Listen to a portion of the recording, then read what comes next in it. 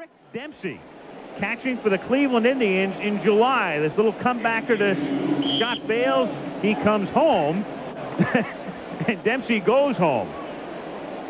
Broke his thumb on that particular play on the collision. Rick Dempsey was out, did not come back. You can see him clutching his left arm. I, I saw Rick at the World Series, and he said, that's just not fair. A guy 230 pounds.